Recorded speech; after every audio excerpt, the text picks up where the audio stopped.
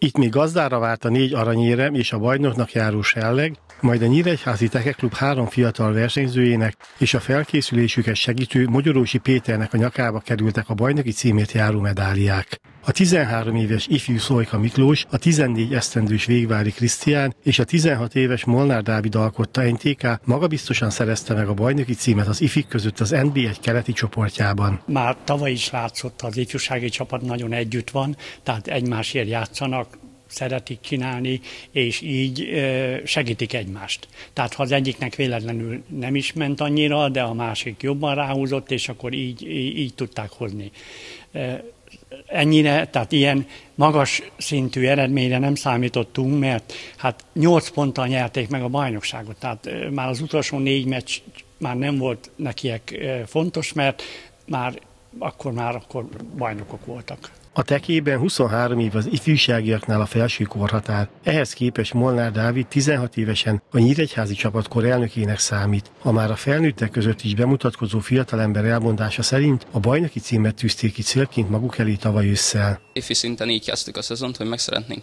meg szerettük volna nyerni az egész bajnokságot, mivel egy felső osztályba lestünk ugye ki, és gondoltuk, hogy ezt meg kéne csinálnunk, legalább ennyit, és igazából az első meccsek jól mentek, és bíztunk benne, hogy sikerülni fog, és sikerült is. A Superligából történő kiesés után voltak változások a felnőtt csapat keretében, de az NB1-ben elért 9. helynél azért jobbra számított a klub vezetése. Mikor az első három meccset itthon megnyertük egymás után, vérmesebb reményeink lettek, de sajnos utána igaz, jött az igazság, hogy pont majdnem mindig annyian voltunk, ahányan el kellett, játszani kellett, tehát cserénk nem volt, és így nehéz volt olyan játékosokat lecserélni esetleg, akik úgy gyengébben ment, de soha nem tudtunk úgy tisztességesen felállni, ahogy szerettünk volna. A három fiatal nyíregyházi tekéző a jövő hét végén a budapesti egyéni utánpótlás bajnokságon lép dobóállásba. Aztán befejeződnek az edzések, nyáron ugyanis teljes gépészeti felújítás végeznek majd a tekecsarnokban.